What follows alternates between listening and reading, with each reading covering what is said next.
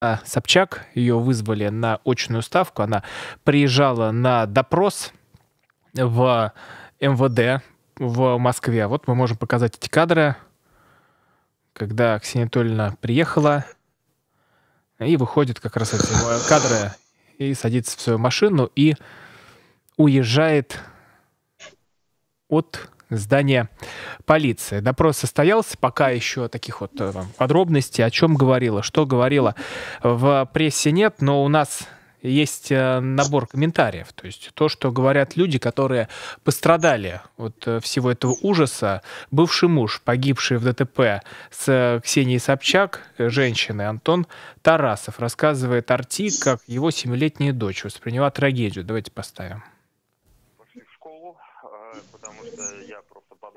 Не дай бог, если кто-то ей сообщит, а, ну, и, и, и, кто, кто-нибудь посторонний. Так, сейчас со звуком решат проблему. Давайте поставим. Вчера мы не пошли в школу, а, потому что я просто подумал, что не дай бог, если кто-то ей сообщит, а, ну, и, и, и, кто, кто-нибудь посторонний, соответственно, э, у нас вчера был разговор, я ей все объяснил, у нас был разговор в формате диалога. А, ну, естественно, ну, я считаю, мне удалось а, как-то ей подобрать более-менее правильные слова. Маша я уже вчера говорил где-то, что она очень сильно похожа на маму. Uh-huh. У нее сильный характер, и она стойко э, выдерживает. Да, она 30 минут примерно висела на мне и плакала, конечно. И плакала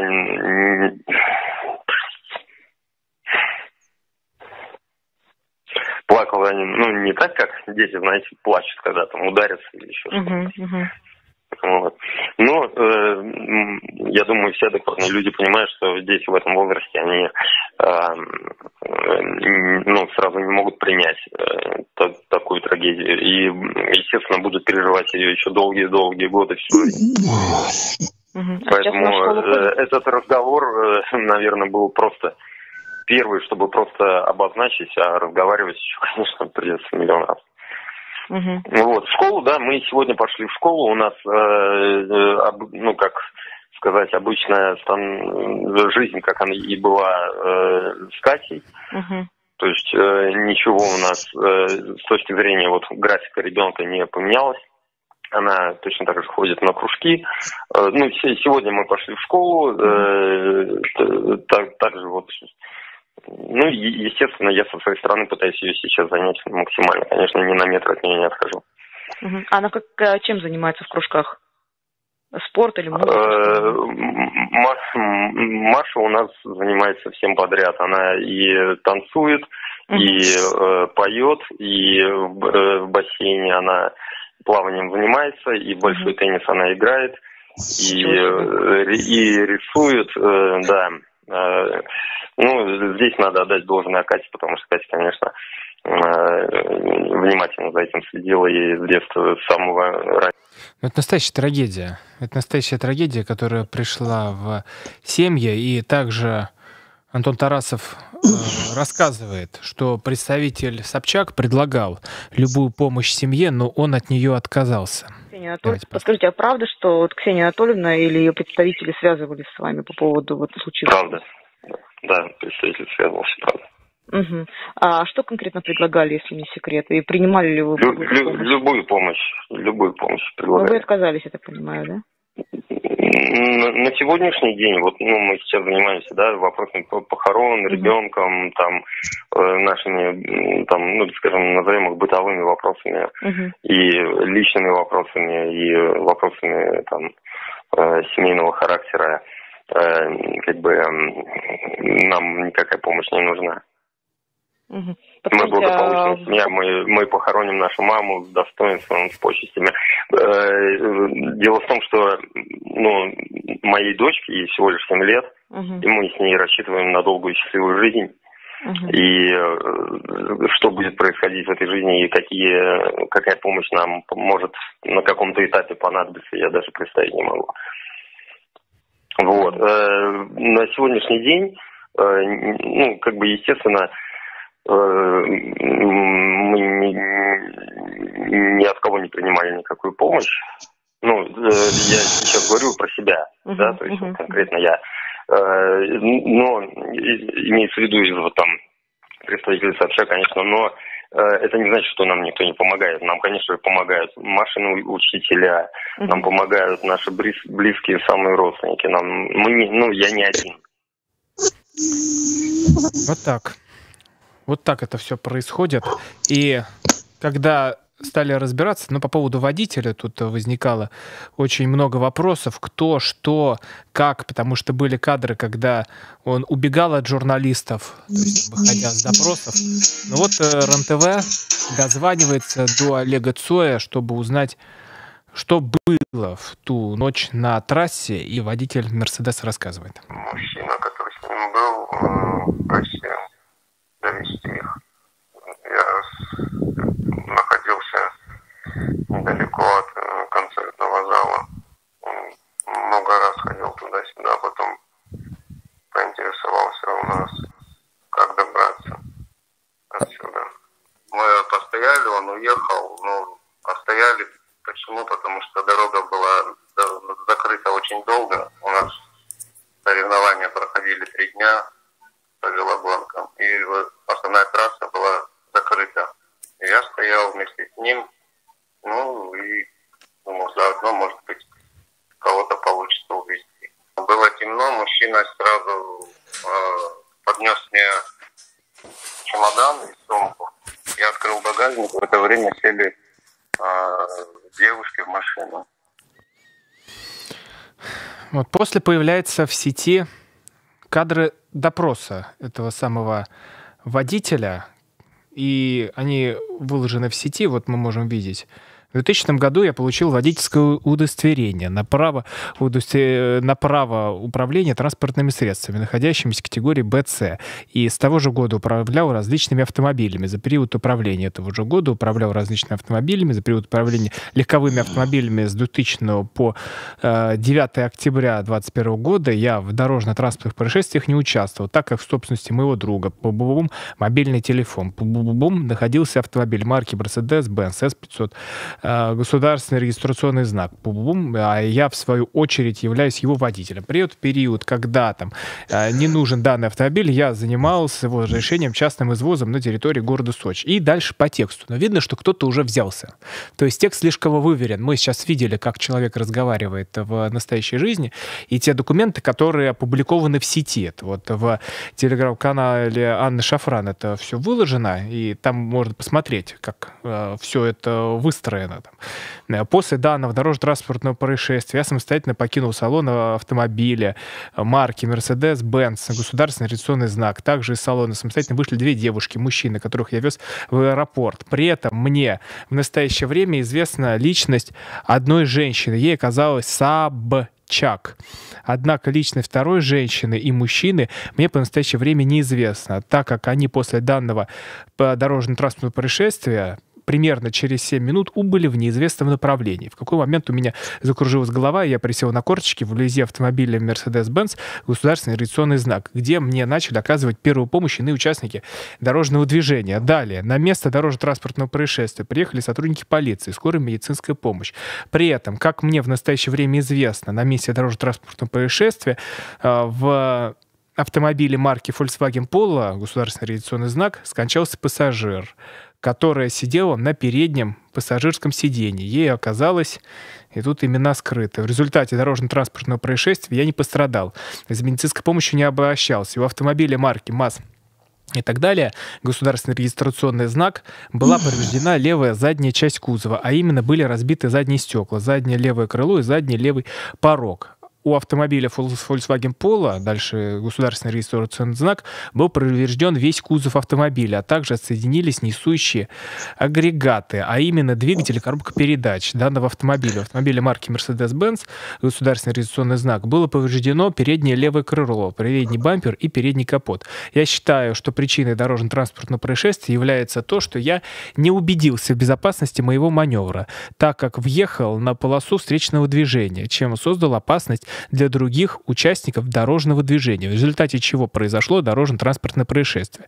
Свою вину в нарушении правил дорожного движения Российской Федерации, в результате которых 9 октября 2021 года произошло дорожно-транспортное происшествие, в результате кого, которого скончалось, имя не называется, а также получили повреждения, имя не называется, я признаю в содеянном раскаиваюсь, показания, данные мной добровольно, без оказания на меня какого-либо давления со стороны сотрудников правоохранительных органов, моего защитника и так далее. Но меня, конечно, впечатляет вот этот момент, который а, выделила, я так э, понимаю, это тоже подчеркнуто а, Анны Шафран.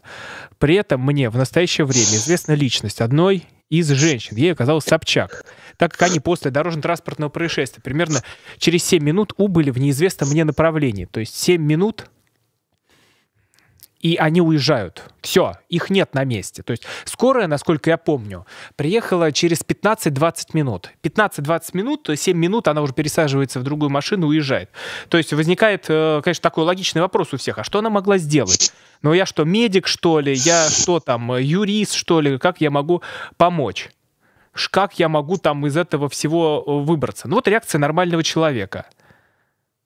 Вот реакция нормального человека, который проезжал мимо и вышел помогать. Э, Volkswagen Polo в избежании столкновения попытался взять влево и ударился еще в наш, ну, в мою сторону, получается, прямо возле окна я сидел. После этого автобус остановился, я быстро криком сказал водителю «открой двери». Мы выпрыгнули, побежал я сразу напрямую по пострадавшей машине к Volkswagen Polo, потому что Майбах был ну, почти целый, можно сказать. И побежал, получается, к, служи... ну, к Volkswagen Polo. Там парень-водитель лежал на полу, ну, был, был в стрессе, но разговаривал, был жив. Я ему помощь не сделал, потому что я видел, что впереди, впереди какой-то пассажир, посмотрел, пульс тронул, она уже мертва. Увидел боковым зрением еще, что оказалось, что еще одна девушка есть сзади, пассажирка. Я побежал к ней, попытался открыть дверь, дверь была зажатая. Мы силой ее открыли, пульс тронул, она дышала, дышала очень плохо, у нее было, были очень много повреждений на голове. И я первым делом взял ее за голову, в бок повернул, чтобы она не захлебнулась своей кровью. У нее была губа порвана, нижняя, и челюсть была вся зажатая. Я пытался в течение 25 минут, 30, рожать челюсть. И все это время я был, сидя в машине, держал ее. После этого приехала скорая помощь, сделала свою работу. И после этого мы загрузили девушку на каталку и ну, служебный транспорт скорой помощи. Вик Николаевич, понимаю, что хочется разойтись и всеми словами, которыми как, как есть все это назвать, но мы, в отличие от них, люди приличные, поэтому попробуем как-то все это разобрать. Ром, мне сегодня приходилось очень со многими людьми говорить, с адвокатами, с водителями, журналистами, с врачами и так далее. Я сегодня сталкивался с людьми разных точек зрения. Одни говорили вот такие вещи. Ребята, отстаньте от Ксеньки. Она же действительно не за рулем сидела, Э, она тоже попала в стресс. Ну, что вы хотите? Сердце колотилось. Она не соображала, кто она, что она. Ну, а что она могла сделать? Она не врач. Она быстренько умоталась, потому что она самолет опаздывала. Это одна точка зрения. Вторая заключается точка зрения в том, что я ее поддерживаю. Дорогие друзья, рядом умирали люди. Да, ты не врач. Ты не врач, ты даже не медсестра. Ты вообще просто человек, ты просто пассажирка. Может быть, от одного твоего движения, какого-то парня, зависела жизнь людей, которые оказались с тобой в одном ЧП. Но Ксюха умотала. Видите, она она спешила на самолет. Какая там жизнь? Какая там женщина? Какая там кровь? Ксюшка немножко перепугалась и умотала на самолет. Вот здесь, по-моему, дорогие друзья, и находится центр нутра, я бы сказал, этой женщины, которая пытается нас учить морали, которая однажды даже вознамерилась совершенно бессовестным образом идти в президенты. Дорогие друзья, мы сегодня на выворотку увидели совесть Ксении Собчак. Если какие бы на сегодня оправдания нам не говорила, что она пассажирка, что она не нарушала и так далее. Ксения, рядом с тобой, в метрах от тебя, умирала мать прекрасной девчушки жена прекрасного человека. Я бы хотел тебя спросить, ты там случайно сапожки свои за полтора миллиона рублей там кровью человеческой не забрызгала? Нет, Ксения? Ух, я тебя понимаю, я тебя понимаю. Надо было схватить такси, сказать, что ты Ксения Собчак, и начать побыстрее в аэропорт. Ну, что я могу сказать, Ром, по этому поводу? Мне теперь просто хочется плюнуть после того, как я называю фамилию этой дамы. Все. Теперь мы про Собчак знаем все. И она никогда нас не упередит, не убедит в таком благости своей высокой политической души. Ты гнилая, Ксюха. Ты просто гнилая. И другого названия я тебе дать не могу. Я бы сейчас бы мог конечно, разразиться лютым офицерским матом, я этого делать не буду. Я, я, я сдержу себя. Мне просто будет теперь противно смотреть твою харю, даже если я буду ее по телевизору. Вот э, последнее, что она публиковала, это сообщение оправдания о том, э, что говорит по состоянию, оно тяжелое, у нее травма головы, легких бедра, ей удалили селезенку, но, слава богу, жива. В ближайшее время да, да, да. мы с ее мужем а? решим вопрос с дальнейшим лечением, найдем врачей. Там по поводу фейков, причастности, там, э, там да, даже э, просить не буду, знаю, бесполезно. И вот там это длинные такие сообщения оправдания идут. И вот сегодня она публикует вот эти кадры, ну, как раз скриншоты э, с тех материалов, которые мы показывали. Это материалы допроса. Почти три часа вопросов, не имеющих вообще отношения к нему, о чем обычно спрашивают свидетелей. И видео, снятое сотрудниками из внутреннего двора для журналистов. Я понимаю, для чего это делается и на что рассчитывают. С пострадавшими на связи. И вот тут возникает несколько вопросов, Виктор Николаевич. Ведь она же сейчас себя пытается выставить-то жертвой. То есть, что жертва не те, в кого да, врезались их машины, а что жертва она. Там же наговорила, там люди из АПшечки на меня накинулись, вот тут уже сотрудники меня где-то со двора снимают, что-то делают, и все это идет против меня. То есть на меня давят, и все это под политическим каким-то видом. Ну, а как под политическим видом? Где там вспом- вспомнить, где сейчас мама Ксения, Ксения Анатольевна? Да. Ничего нового, дорогие друзья. Вспомните, как радовалась моська, которая попала под слона. Вот это тот случай, это достаточно такой российский случай, когда человек способен ловить хайп даже на горе. Это чрезвычайно важный момент. Мы хотим понять то, что произошло, мы должны понимать. Мы должны понимать это. Ксюшка продолжает хайповать, из-за глупости своей, не побоюсь сказать, даже из-за тупости, не понимая, в какую ситуацию она попала. Ты знаешь, Ром, у меня такое впечатление, что она даже счастлива. Ей страшно повезло. Это вот, это вот порода э, таких людей. Тут мы там о чем-то там постороннем говорили, по мелкоте, там она мелькает там в своих в новых одеяниях на экране, а тут такой роскошный спот, ну, знаешь, ну просто Всевышний подкинул э, Рома этой бабеночке э, вот такой случай, что она попала вот в такую э, в такую катастрофу. Дорогие друзья, здесь сегодня очень тяжело, э, тяжело проводить грань э, между тонкостями э, Собчак как свидетеля катастрофы, а то у нас все время ЧП, ЧП называют. Какое ЧП? Люди погибли. Какое ЧП? ЧП это когда вам мороженое на голову бросят с восьмого этажа. А тут люди погибли, это катастрофа. И вот в этой ситуации и как раз проверяется моральная высота любого человека, который оказался в центре вот этой страшной трагедии. И теперь уже никакие высокие слова, никакие там, никакая политическая брехня, она не поможет Ксении, Ксении отмыться.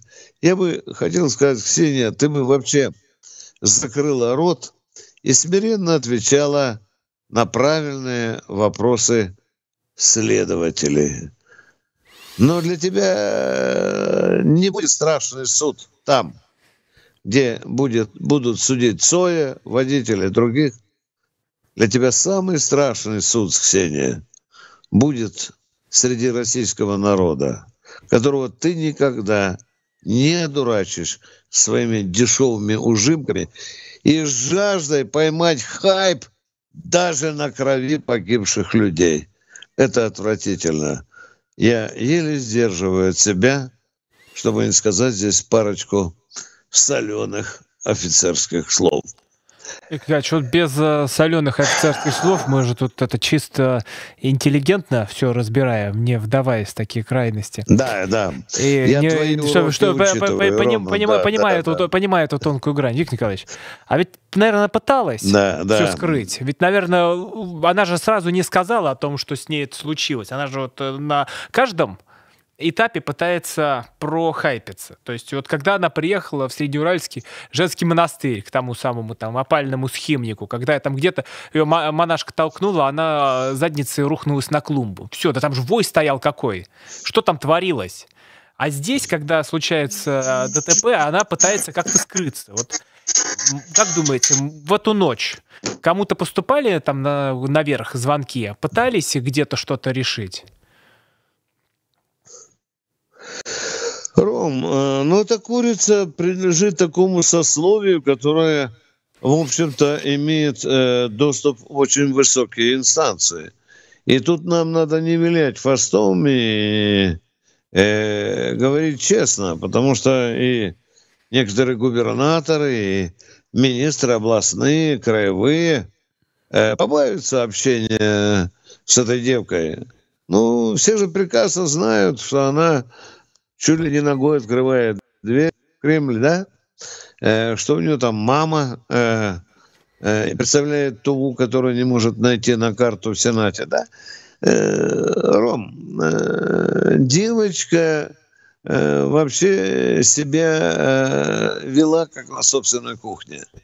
Понимаешь, тут уже э, никакие моральные соображения. Мы, так, мы о таких вы, высоких материях сейчас говорим по имени совесть, гуманность, о том, что рядом, брызгая кровью, лежит умирающий человек.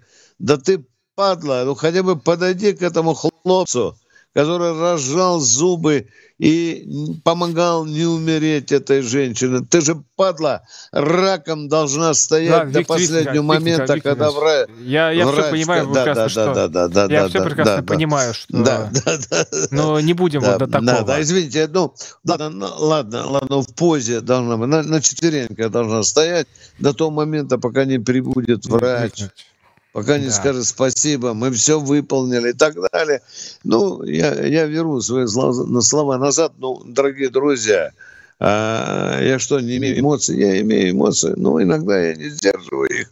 Ну, дорогие друзья, я могу вам сейчас говорить такие круглые, как и яичко отполированные слова, но сердце не сдерживается. Сердце не сдерживается еще раз от того, что мы очень долгое время подозревали гнилую душу этого человека. И вот так сложилась ситуация, что эта вся гниль, она выплеснулась на тот трагический асфальт, где-то там по Краснодару, да, и на этом дымке от машины, когда трупы лежали на дороге, а она умотала в аэропорт, оставив позади себя и бездыханных людей, и тех, кто мог еще выжить. Сюха, ты могла многое сделать, и самолет бы твой улетел, и совесть бы твоя была чиста, если бы ты стояла на карачках перед умирающей женщиной, у которых осталась такая прекрасная девчушка. И, мужик, я тебе пожимаю руку, муж. Хорошо ты держишься. Хорошо. Я при случае пожму тебе руку. Артем, прими мои соболезнования. Да, мы выражаем соболезнования, потому что это великая трагедия для семей. То есть мы можем это так обсуждать, смотреть там с разных сторон, но люди вот это все переживают, они не, не виноваты, что они во все в этом в это влипли, там звонки журналистов. Люди так к вниманию не привыкли, жили себе тихо, спокойно, а тут атакуют со всех сторон, что-то происходит, тут какая-то громкая фамилия, что, но сейчас важнее всего, что не стала женщиной, и как девочка будет с этим справляться дочь ее, и как семьи все это переживут. Это, конечно, великая да. трагедия.